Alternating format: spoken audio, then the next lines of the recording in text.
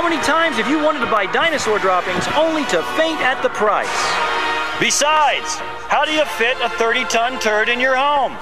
I'm Chuck Cirino with a new product that's older than time itself. Yes, real fossilized dinosaur poop that will fit in the palm of your hand. This isn't ordinary poop though, it's Weird America Dino Dump. Each relic is individually weighed, packaged, and certified by an actual expert on prehistoric critters. Yep, it's poop all right. And you can trust me to give you the straight poop.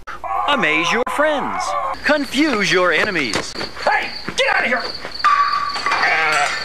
Unquestionably the best dung on the market today. Act now, and I'll let you take a second crap for half price. Think of it, no two are the same. But beware of imitations. Anyone can give you crap. But this is the real thing, pinched off over eight millennia before you were ever born. And through the miracle of eons, no smell.